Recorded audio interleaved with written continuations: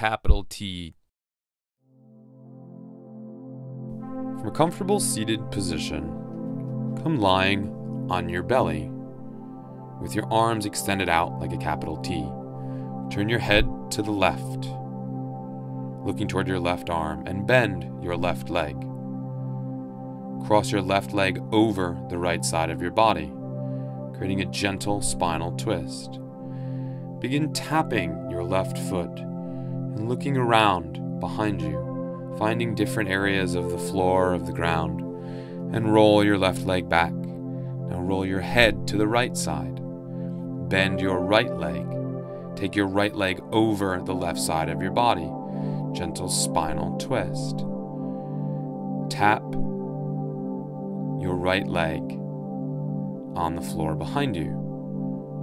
Notice how that changes the stretch. And roll back. Allow your head to roll to the left again.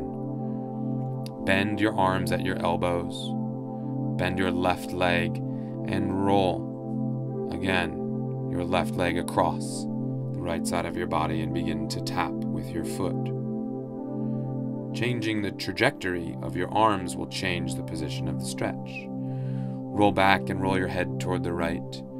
Bend your right leg and roll your right leg over the left side of your body and tap your foot. Be careful with your chest and shoulders in these positions.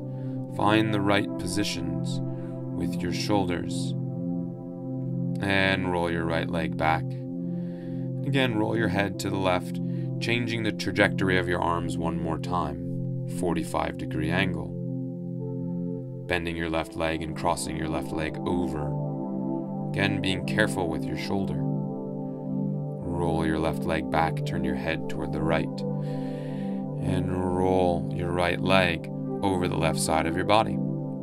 Begin to tap. Notice the changes in the stretch as you change your arm position. Push up to all fours and come to a comfortable seated position. Inhale your arms up and down to clear.